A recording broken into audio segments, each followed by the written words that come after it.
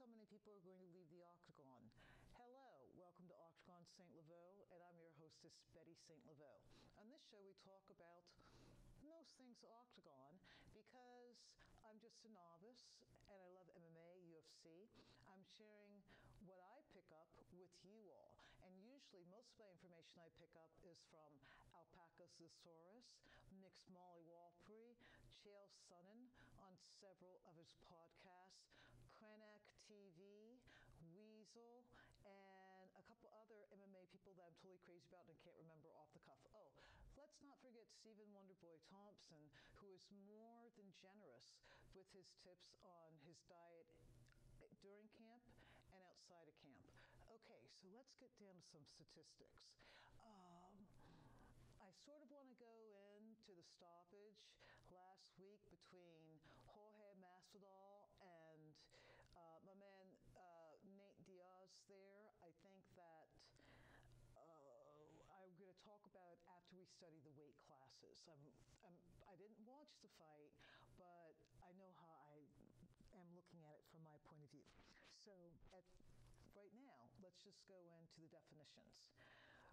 There are 1, 2, 3, 4, 5, 6, 7, 8, 9, 10, 11, 12, 13, 14 count them 14 weight divisions. Try to review them myself because it's a lot to remember. Let's start off. Straw weight is 115 pounds, flyweight is 125, bantamweight is 135, featherweight is 145, lightweight is 155. Super lightweight is 165. Welterweight's 170. Super welterweight is 175. Middleweight is 185. Super middleweight is 195. Light heavyweight is 205. Cruiserweight is 225. Heavyweight is 265, and they don't have a super heavyweight yet. Okay, so this is Wikipedia. I want to, um, I got the UFC rankings pound for pound, but because this is Wikipedia, it is subject to change. And also, the last time this was edited was sometime in October. Um, Women UFC recognizes women's titles in strawweight, flyweight, bantamweight, and featherweight. Um, some organizations recognize women's championships also sanction a separate atom weight title with 105 pounds. Now, I'm 116 pounds. I'd be a straw weight. Um, you would think, uh, oh, it's bantamweight, but straw weight's the um, minimum. But atom weight, I don't know if I'd want to see a couple of 411 shorties at 105 pounds going at it, but you never know. Um, okay, so that's those are the definitions of the weights. Now let's go to pound pound for pound as of this past week. Okay, all right. Um, and I love looking at the rankings. The rankings tend to change when fights happen, etc. All right, so um, I believe that pound, okay, my column here is pound for pound despite whatever weight it is. So we've got Jon Jones at number one. Two, we've got Khabib Nurmagomedov.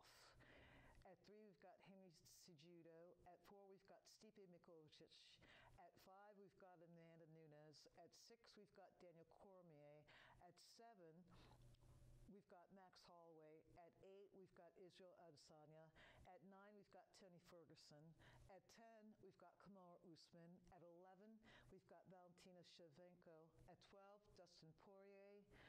And uh, 13, Conor McGregor. 14, Robert Whitaker. And 15, Tyron Woodley. Interestingly enough, on this page right here, Dustin Poirier and Conor McGregor are tied for 12, and there's no 13th, but I read Conor as 13th anyway. Now, that's all through the board. For instance, um, Jon Jones is a light heavyweight, Adesanya is a middleweight. But again, they're not paying attention to. Uh, pound for, uh, they're not paying attention to weight class, they're paying attention to pound for pound fighting. Now, let me make sure I read this right. Okay, so I believe that Henry Cejudo, of course, I cut that piece of paper off before I could get the the ranking. So what I'll do is I'll start with what I know what I can follow. All right, so light heavyweight, we have Khabib Nurmagomedov, the champion. We've got Tony Ferguson at number one, Dustin Poirier is number two, Conor McGregor at number three, Justin Gaethje at number four, Donald Cerrone at number five, Paul Felder number six, Dan Hooker number seven, Kevin Lee number eight, Al Iaquinta number nine, Edson Barboza number 10, Anthony Pettis number 11, Gregor Gillespie number 12, Charles Oliveira number 13, 13, Alexander Hernandez 14, and Islam Makhachev at number 15. And that's light heavyweight.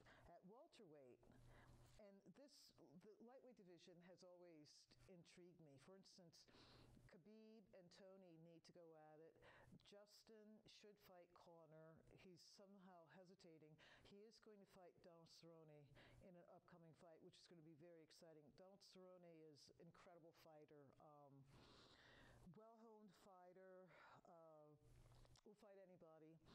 Kevin Lee just had uh, knocked someone out with a terrible head kick. Al Iaquinta is a good fighter. Anthony Pettis, very tough fighter. This division's awesome. The welterweight division is also excellent. We've got Kamaru Usman as champ, Tyron Woodley number one, Colby Covington at two, Jorge Masvidal at three, Leon Edwards at four, Rafael dos Anjos at five, Demian Maia at six, Santiago Ponzinibbio at seven, Stephen Thompson at eight, Nate Diaz nine, Anthony Pettis 10, Robbie Lawler at 11, Ben Askren at 12, and Vicente Luque at 13, Gilbert Burns at 14, and Geoff Neal at 15. Incredible, exciting division. Um, Kamaru is slated to fight Colby, Jorge, and uh, my man there, Nate Diaz, just went at it. Leon Edwards consistently tries to get under Jorge's skin. Demian Maia is a great, just beat Ben Askren.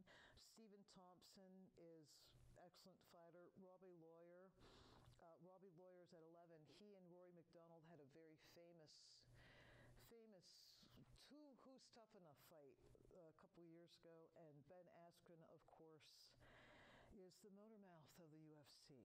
Okay, so um, I like the middleweight division, light heavyweight division. Um, just um, in, in, incredible, incredible athletes. Let's go over to the women. And if I've got this right, I don't have weight classes, unfortunately. So it's going to take me a minute to figure this out. But I've got a feeling that if I'm wrong, I think that Zhang I think this is our straw weight. Valentina is our bantamweight, and our Amanda Nunes is champ champ. She holds both. Oh, wish I printed that up better. I think she holds both welterweight and bantamweight, but I'm so bad. I'll, I'll do a better printing next time. At any rate, Zhang Weili is the champion of her division. Number one is Jessica Andrade. Um, uh, uh, Andrade. Number two is Rose Namajunas, Rose. Three is Tatiana Suarez. Four is Joanna Jędrzejczyk. Five is Nina Ansaroff. Six is Claudia Gadelha. Seven is Carla Esparza. Eight is Michelle Waterson. Nine is Marina Rodriguez. Ten is Cynthia Calvillo. Eleventh is Ale- Alexa Grasso. Twelfth is Felice Herring. Thirteenth is Tecia Torres. Fourteenth is Karolina Kowalkiewicz. And fifteenth is Amanda Ribas. In her division, Amanda Nunes is the champ. After her, number one is Germaine de Randamie. Number two is Ketlin Vieira. Number three is Holly Holm. Number four is Juliana Pena. Number five is Aspen Ladd. Number six is Raquel Pennington. Number seventh is Yana Kunitskaya. Eight is Irene Aldana. Nine is Marion Reneau. Ten is Sarah McMann. Eleven is Lina Lansberg. Twelve is Macy Chiasson. Thirteen is Bethe Correia. Fourteen is Nicole Montano. And fifteen is Sijara Eubanks. And again, this division, exciting, exciting fighters. Aspen Ladd, Raquel Pennington, uh, Amanda, who is probably one of the the best athlete. She is one of the best athletes in the entire world. In Valentina's weight division, we have Valentina Shevchenko as the champ. Number one is Caitlin Chookagian. Number two is Jessica Eye. Number three is Joanne Calderwood. Number four is Liz Carmouche. Number five is Jennifer Maia. Six is Viviane Araujo. Seven is Andrea Lee. Eight is Lauren Murphy. Nine is Roxanne Modafferi. 10 is Maycee Barber, 11 is Alexis Davis, 12th is Montana de la Rosa, 13 is Antonina Shevchenko, Valentina's the champ sister. 14 is Mara Romero Borella, and 15th is Paige Van Sant. Okay, so recently Maycee Barber who is ranked 10, has repeatedly kept saying that she wants to fight Paige Van Sant. And the reasons that she gives for fighting Paige is that she's a pretty girl who can speak well and got put on, and she's not that good a fighter. So I listened to this a couple of times, and I didn't bear Maycee Barber any ill will. It's sort of what fighters do to kind of start a fight, get get, get a fight.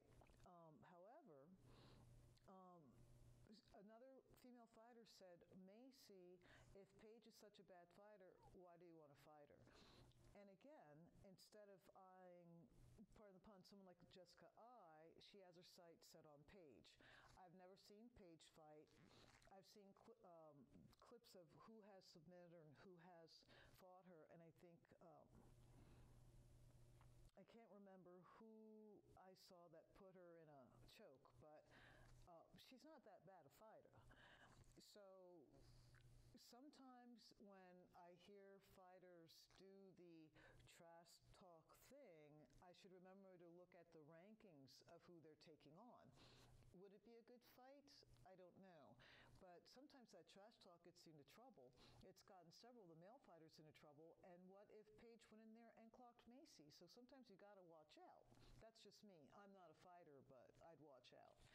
So um, that's that's it for the rankings. I think that um, we'll do we'll do other divisions in some future episodes, and I will try not to do such a bad printing job. I use I like to write write stuff out longhand, but I thought I'd make it quick today and print out, but I didn't format that correctly.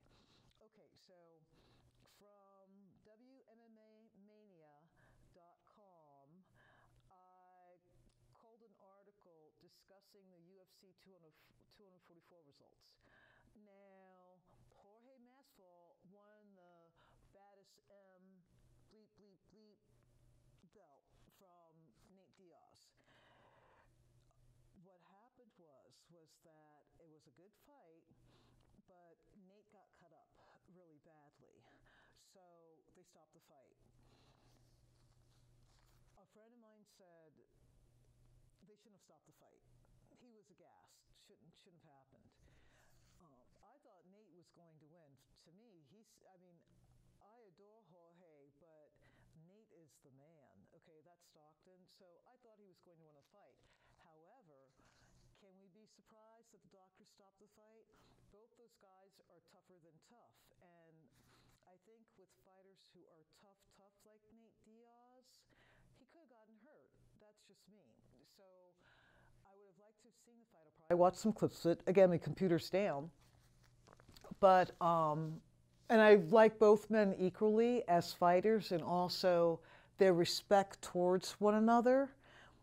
It's awesome. I love how Warriors uh, will uh, show each other uh, that they both have cojones. Maybe it should be done again. I've read here that Dana's not interested in doing a rematch, but maybe he should. You know, why not? Might not be a bad idea. Now, um, oh, and I read here that even Jorge Gamebred Messel, he wasn't um, he he wasn't too thrilled with how the fight turned out either. I guess both those guys were all in. Now,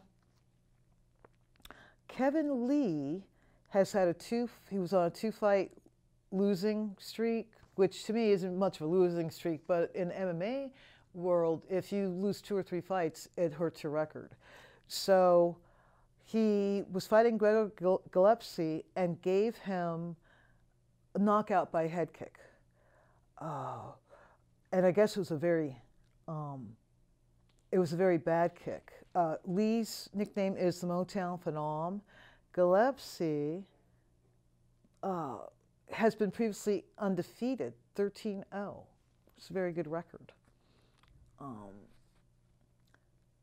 so it's a 155 pound division that that fight was in.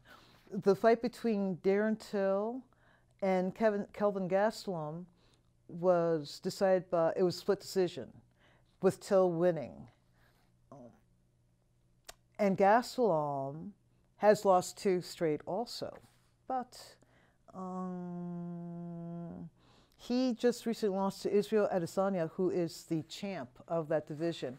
Israel's performance was, I guess I don't, I remember how the when he did that dance in the ring, but it was it was great. I thought Kelvin was going to win that fight. It all comes to show that in MMA, you never know.